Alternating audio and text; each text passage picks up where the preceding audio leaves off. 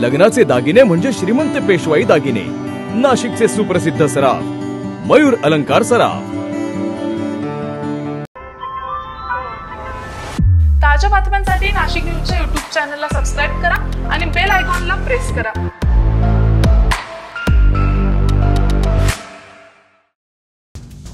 नाशिकमधील बहुचर्चित निखिल गवळे आणि अर्जुन आव्हाड या दुहेरी हत्याकांड प्रकरणातील संशयित आरोपी आणि आरपीआयचे जिल्हाध्यक्ष असलेल्या प्रकाश लोंढे यांचे पुत्र भूषण लोंढे याला आणि त्याच्या इतर साथीदारांना नाशिक जिल्हा सत्र न्यायालयानं या खून खटल्यातून निर्दोष सुटका केलेली आहे.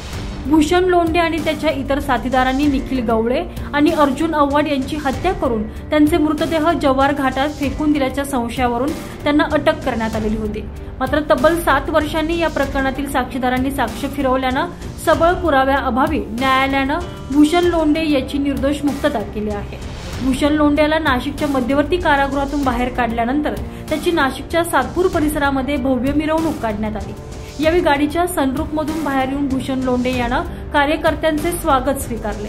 तर यावेळी फटाक्यांची अतिशबाजी करण्यात आली.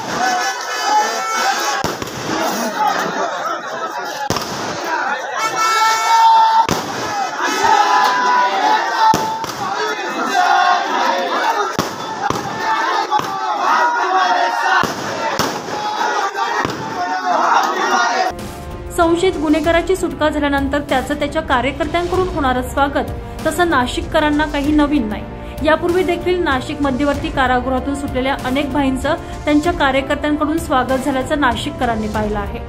आज पुन्हा एकदा खून खटल्यातून निर्दोष सुटलेल्या आणि काही वर्षांपूर्वी नाशिक पोलिसांच्या रेकॉर्डवर सराईत गुन्हेगार म्हणून असलेल्या भूषण लोंढेचंही सातपूर परिसरातून मिरवणूक काढत स्वागत करण्यात आलं आहे. या स्वागताला नाशिकमधील वेगवेगळ्या ग्रुपचे कार्यकर्ते आणि आरपीआयचे जिल्हाध्यक्ष प्रकाश लोंढे माथाडी संघटनेचे पदाधिकारी नाना लोंढे यांच्यासह पीएल ग्रुपचे शेकडो कार्यकर्ते उपस्थित होते.